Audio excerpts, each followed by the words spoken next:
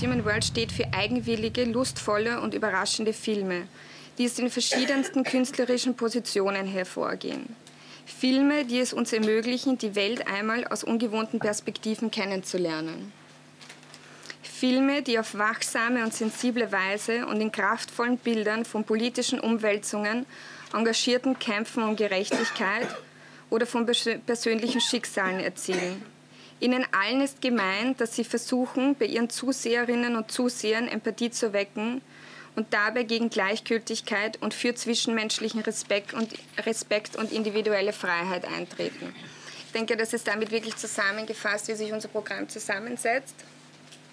Ähm, trotzdem habe ich jetzt noch versucht, für Sie, die Presse, sozusagen einige meiner, meiner Lieblingsproduktionen oder Produktionen, von denen ich denke, sie sind besonders spannend, um darüber zu berichten, hervorzuheben. Das ist einerseits der israelische Spielfilm Next to Her von Asaf Korman. Der Film erzählt, ähm, die Geschichte geht um Cheli, eine, eine junge Frau, die mit ihrer Schwester ähm, Gabby, die eine Behinderung hat, zusammenlebt es geht um eine sehr enge Beziehung, um auch eine ambivalente Beziehung. Der Film streift auf wirklich gelungene ähm, Weise Tabuthemen wie Körperlichkeit und Sexualität. Der Film wird eingebettet sein in eine Podiumsdiskussion zum Thema ähm, Abhängigkeit, Selbstbestimmung und Sexualität. Das machen wir gemeinsam mit dem Verein LOC. Auch ans Herz legen möchte ich Ihnen den iranischen Spielfilm I'm Not Angry von Reza Dormishian. Äh, der Film war dieses Jahr auf der Berlinale der einzige iranische Beitrag und ist relativ schnell im Iran verboten worden. Umso mehr freuen wir uns sozusagen, dass er, in Österreich, dass er seine Österreich-Premiere bei uns feiern wird und wir freuen uns auch, dass Reza Domischian zu Gast sein wird. Ähm, über, über die repressive Politik Wladimir Putins gegenüber Schwulen und Lesben, denke ich, kennt man ja schon einiges. Und wir freuen uns sehr, dass ein Film ähm, an uns herangetragen worden ist. Es ist eine österreichisch-russische Produktion, ein Dokumentarfilm, der ähm, ein, ein lesbisches Pärchen porträtiert, die gemeinsam mit anderen Freundinnen und Freunden ähm, versuchen, diese, dieser Diskriminierung und diesen, diesen Gesetzen etwas entgegenzustellen. Und der Film porträtiert sozusagen ähm, sehr, sehr liebevoll und spannend in ihren, ihre politische Arbeit. Auch hier wird es eine Podiumsdiskussion zum Thema ähm, Homophobie in Russland geben. Mit der Urführung des österreichischen Dokumentarfilms Rosikurt und Koni von Hanne Lassel freuen wir uns sehr auf einen Film, der ähm, wirklich sensibel, behutsam und, und, und, und auch sehr stark ähm, seine Protagonistinnen porträtiert, die ähm, nur über sehr rudimentäre Lese- und Schreibkenntnisse verfügen. Das ist irgendwie was sehr Ungewöhnliches. Das so zu sehen und das, das wirklich Starke an dem Film ist, ähm, dass, sie, dass sie denen sehr viel Raum lässt, auch ähm, ihren Raum um, und, und ihren Kampf um, um Selbstbestimmung ähm, sichtbar zu machen. Eine rumänische Familie, in der der Vater völlig fehlt und die Mutter das Jahr über in Italien arbeiten muss und die sieben Kinder auf sich allein gestellt sind, porträtiert Theodora Anne und Mikhail in ihrem Dokumentarfilm Waiting for August.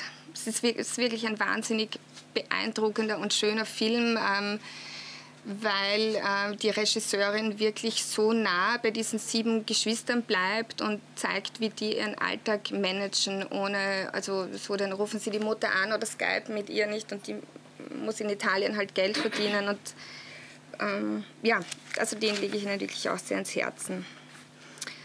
Auch freuen tun wir uns sehr, dass wir den neuen Film von Phenom Elgar ähm, für uns gewinnen konnten. Vielleicht haben da einige schon was davon gehört. Auch der Film heißt The Shelter. Im Mittelpunkt steht ein Obdachlosenasyl in Lausanne, ähm, in dem es jeden Abend ähm, ein, ein Riesengedränge gibt, ähm, weil es einfach sehr viele Menschen gibt, die keinen Schlafplatz haben. Es ist Winter, es ist kalt es gibt ähm, kaum die nötigste Versorgung in einem so reichen Land wie der Schweiz. Und vor allem jene, die über keinen schweizerischen Pass verfügen, haben fast keine Möglichkeit, dort unterzukommen. Kurz noch zum Wettbewerb von This Human World. Ich denke, die meisten von Ihnen ähm, kennen die Ausrichtung unseres Wettbewerbs. Wir ähm, versuchen einen Wettbewerb ähm, für junge Filmschaffende zu machen. Einen, in dem wir dem heimischen und dem internationalen Publikum die Möglichkeit bieten, die jungen ähm, Filmemacherinnen zu entdecken. Korrigiert habe ich auch dieses Jahr diesen Schwerpunkt, äh, diesen Wettbewerb gemeinsam mit Evi Bencic, die auch da ist. Und vielleicht, ähm, also es freut die Evi und mich besonders und ist vielleicht auch ein Zeichen dafür, wie sehr der, der Wettbewerb ähm, ähm, wächst und wie, wie viel Zuspruch er hat. Ist, wir können auch einfach immer anspruchsvollere äh, Produktionen für uns gewinnen. Das ist dieses Jahr zum Beispiel Toto and His Sisters von Alexander Nanau, der jetzt in Zürich und San Sebastian und auf anderen Festivals für ähm, sehr viel positives Aufsehen gesorgt hat. Ja, ich freue mich sehr, dass wir wieder zusammenarbeiten können. Wir ist jetzt die Universität Wien auf der einen Seite und das Ludwig-Boltzmann-Institut für Menschenrechte, die sehr eng miteinander verbunden sind. Und äh, gemeinsam mit Anna Müller-Funk, die auch im Publikum sitzt, gerade erst gekommen ist, da hinten sitzt sie ja, äh, machen wir seit, seit Jahren auch eine Lehrveranstaltung für Studierende aller Backgrounds, äh, wo wir eben eine Auswahl von Filmen von This Human World zeigen ähm, und die dann darüber eine Seminararbeit schreiben aus unterschiedlicher anthropologischer, rechtlicher, soziologischer Perspektive. Und das hat sich immer als, sehr, als, als ein Hit irgendwie herausgestellt, weil es einfach ähm, eine andere Art und Weise ist, menschenrechtliche Themen äh, zu, zu diskutieren im, im akademischen Bereich. Ähm, diese Zusammenarbeit ist für, für uns einfach wirklich sehr, sehr wichtig. Ähm, und gerade heuer freut es mich auch sehr, dass äh, Menschenrechte im Gefängnis, Menschenrechte hinter Gittern, äh, das Schwerpunktthema des äh, Festivals ähm, ist.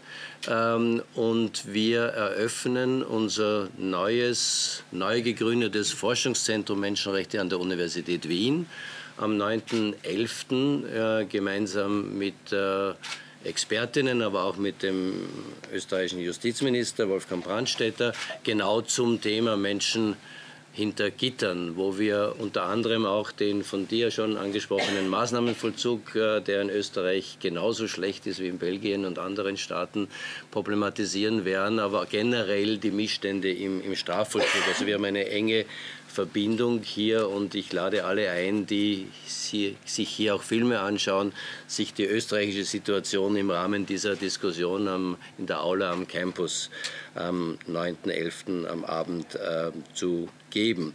Ähm, Im Rahmen der Filme, die bei Cinema and Human Rights gezeigt werden, ist ähm, das Flüchtlingsthema sehr, sehr wesentlich. Äh, EU 13 wurde schon äh, genannt. Ein, ein, Flüchtlingsgefängnis, aber es geht um die Flüchtlingsproblematik generell, die sicherlich die größte Menschenrechtsproblematik derzeit in Europa ist. Das ist überhaupt keine Frage. Ich komme gerade aus einer großen Konferenz in, in Rom, wo die Situation im Mittelmeer wieder im Mittelpunkt stand. Äh, wo das Mittelmeer ist das größte Flüchtlingsgrab der Welt derzeit und das nur deswegen, weil die Europäische Union ähm, als Festung konzipiert ist äh, und man die Leute einfach nicht hereinlassen will, was aber eine Voraussetzung dafür ist, dass sie dann überhaupt erst einen Asylantrag stellen können. Also ihnen das Recht vorenthält, hier um Asyl anzusuchen. Ähm, die Italiener haben ein Jahr lang mit Mare Nostrum eine Rettungsaktion gemacht, wo 156.000 Menschen, 156.000 Menschen gerettet wurden. Äh, die EU hat das jetzt abgedreht und hat eine neue, die heißt Triton mit Frontex, die aber im Wesentlichen keine Rettungsaktion mehr ist, sondern eine Border Protection. Das heißt also, die wollen die Leute wiederum davon abhalten, nach Europa zu kommen. Ein ganz großer Skandal der Europäischen Union. Andere Filme, die wir zeigen, ist Mission Rape, A Tool of War. Da geht es um die Situation der Vergewaltigung von Frauen im Rahmen der ethnischen Säuberungen in Bosnien vor 20 Jahren und was dann auch die Langzeitfolgen äh, dieser Politik äh, in Bosnien war. Ruina ist ein Film, ähm, der sich äh, mit ja, Wirtschaft, Neoliberalismus auf der einen Seite und äh, den negativen Seiten ein leerstehender, riesiger Turm eines ehemaligen oder als Bank konzipierten Gebäudes, das in der Zwischenzeit von Obdachlosen und anderen Menschen belebt wird. Und dieses Spannungsverhältnis zwischen Globalisierung und den Globalisierungsverlierern ähm, zu zeigen, ist ein, ein sehr, sehr interessanter Film. Und nicht zuletzt ähm, haben wir schon lange eine Zusammenarbeit mit dem Europaparlament, äh, sodass wir einen Link herstellen zwischen der Verleihung des Sacharow-Preises, den wir ja bei der Konzipierung des Filmprogramms ja noch gar nicht wissen, wer den bekommen wird. Das ist jetzt Denis äh, Mukwege, ein Gynäkologe aus der ähm, Demokratische Republik Kongo, ähm, ähm, der hier geehrt wurde und als Anlass dessen wird Seeds of Hope ähm, im Rahmen von Cinema, of, äh, Cinema and Human Rights äh, bei diesem Filmfestival gezeigt werden. Letzter Punkt, das ist für mich auch ganz wichtig. Wir haben einen langen Prozess jetzt zu Ende gebracht, sodass sich Wien offiziell noch während des Filmfestivals zur Stadt der Menschenrechte erklären wird. Ähm, da ist ein großer Festakt am 10. und ein Symposium am 10. Dezember.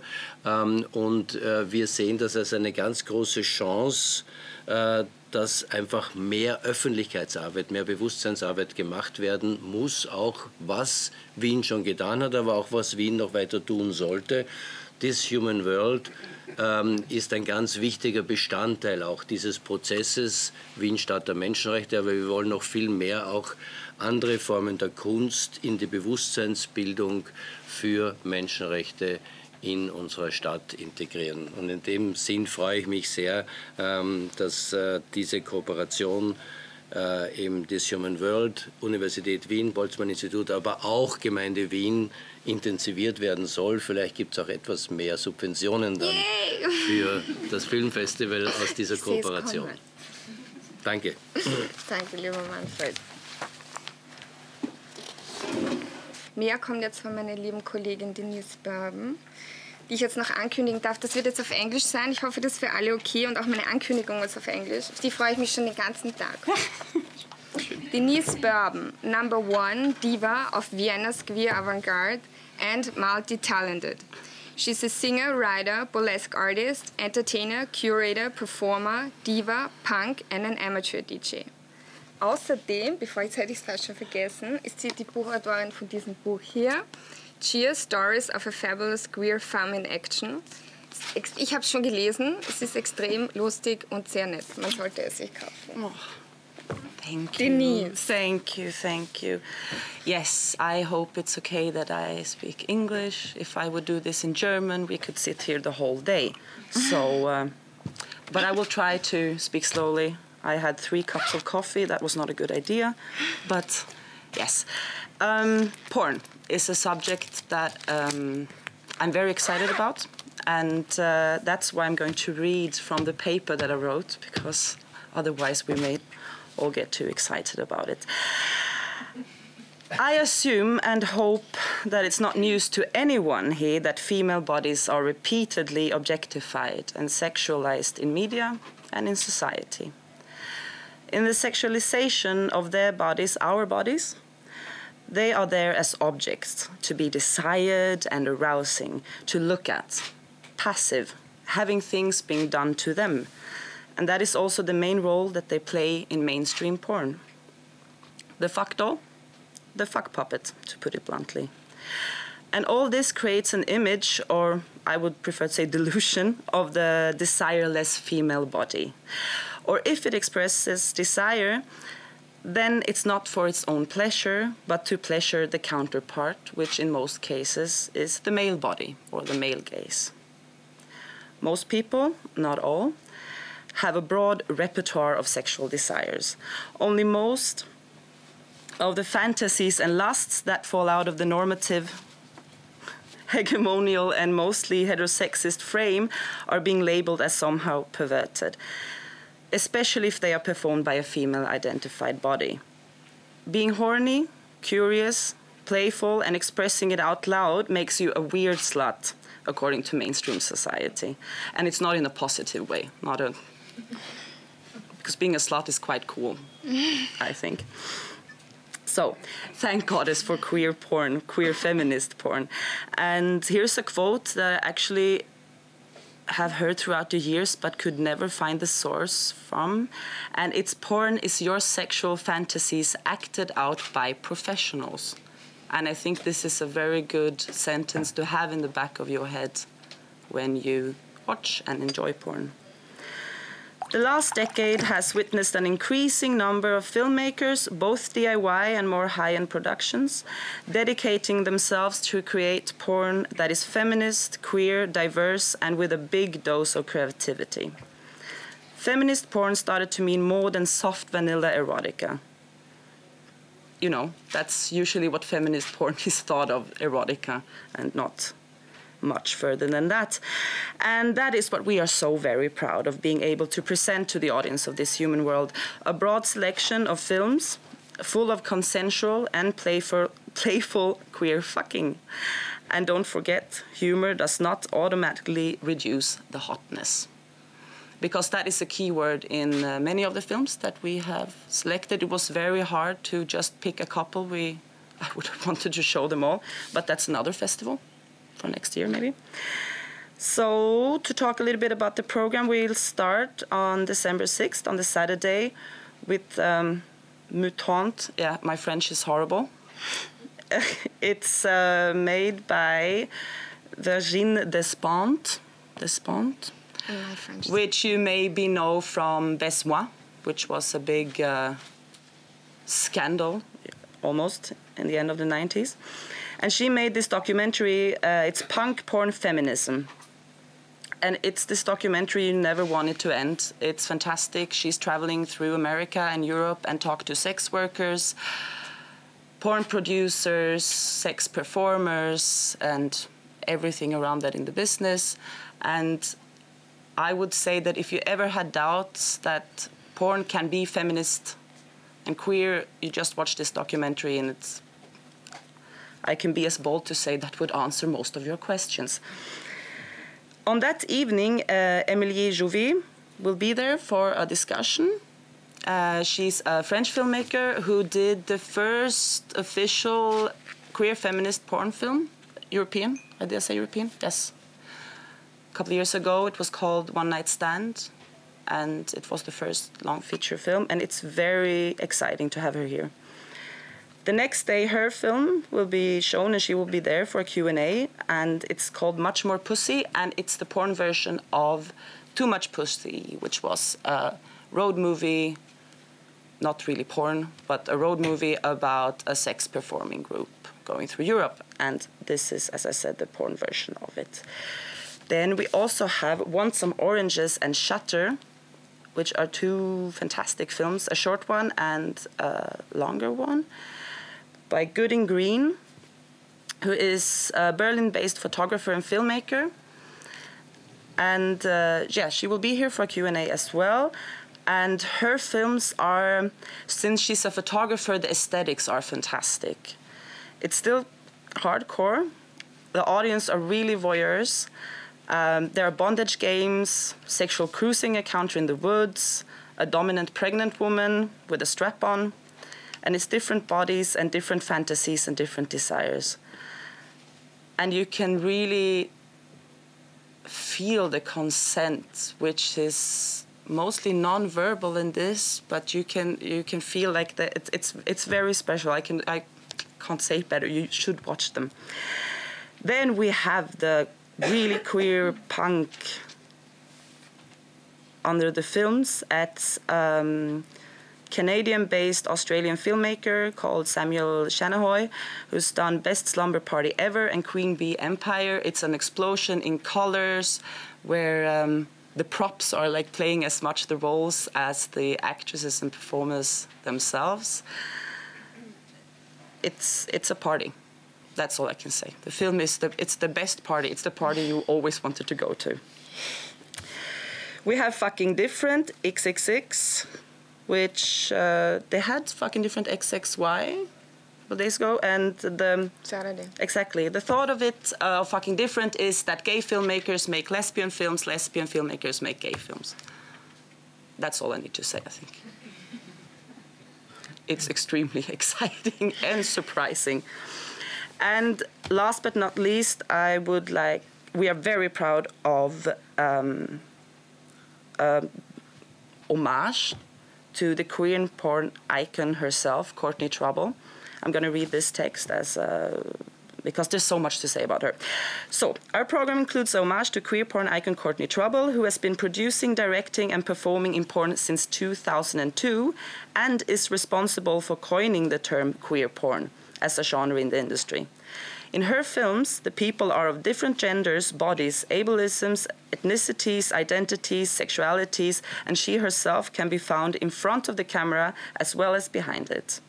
We have chosen a collection of her work to do our best to present the diversity that her filmmaking is built on.